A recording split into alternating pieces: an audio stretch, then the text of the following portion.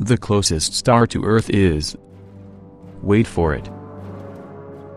The Sun? Duh. At 8 light minutes. But the closest star to Earth that isn't the Sun, is Alpha Centauri A, at 4.3 light-years distance, that's also the time it would take you to get there if you would move at the speed of light. Which, you literally can't because physics.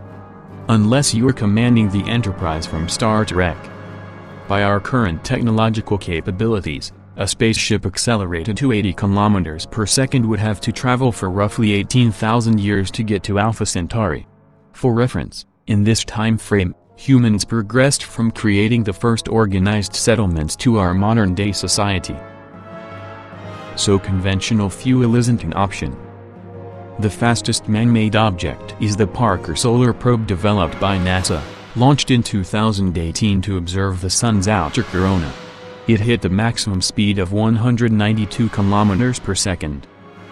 The fictional Enterprise had a maximum speed of 2 billion km per second, or 6,700 times the speed of light. That would get you to Alpha Centauri in only 5 hours. Sadly only works in the Star Trek universe, which you can experience in Star Trek Fleet Command. It is a free-to-play strategic MMO game on both Android and iOS. Join millions of players in exploring the Star Trek universe by finding strange new worlds, new civilizations, and going boldly where no one has gone before. Customize your own fleet and recruit your crew, choose your weapons and head into epic battles against the Klingons. Or would you rather have them as your ally? Choose between a ton of iconic starships such as the Enterprise or the Klingon D4 class. Choose the head of your crew from several legendary characters, such as Captain Kirk, or Ambassador Spock himself. Perform daily missions to get nice bonuses that allow you to travel even faster and further. Download the game from the link in the description and explore the universe that awaits you. And now back to humanity, what if we noticed a big asteroid? Actually no, a big black hole, closing in on Earth in 50 years, what would be our best shot at escaping the solar system? Right now, the most feasible option would be nuclear weapons. Simply put, load a starship with half a million 1 megaton nuclear warheads, and one by one, detonate them outside while using that momentum to speed up. Doing that would accelerate the ship to possibly a tenth of the speed of light, which certainly is great. The astronauts would get to Alpha Centauri in 43 years. But of course, there are tons of issues with this idea.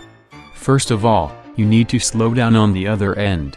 And you can't just hit the brakes on the rocket, you're traveling at 30,000 kilometers per second. You'd need to once again detonate just as many nukes, but this time in front of the ship. So, half of your fuel goes to deaccelerating and I'm sure there shouldn't be any safety concerns about a starship with a thousand gigaton worth of nuclear weapons on board. And to produce so many nukes we'd have to revive the Cold War and put it on steroids. A rather more elegant option would be solar sails.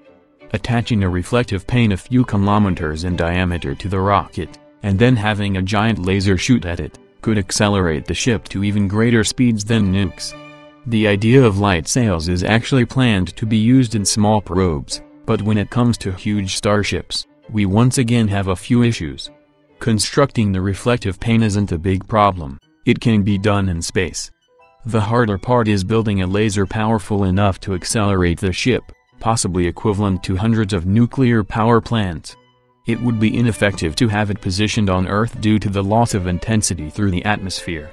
So our best bet would be the moon. And once again, slowing down would be a huge issue.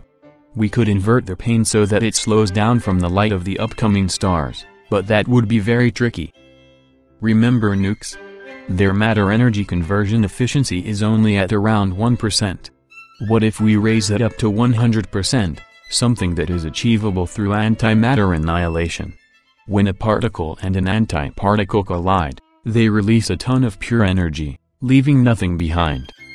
Having just a few kilograms of this fuel on board could accelerate the rocket to half the speed of light, making the trip last only 9 years, or even less.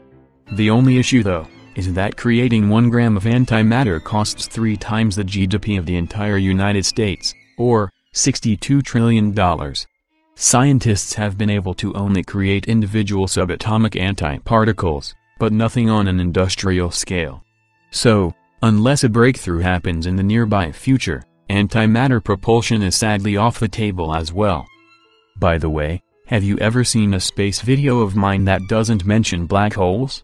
This one won't be an exception. Welcome the black hole drives. As some of you might know, black holes emanate Hawking radiation.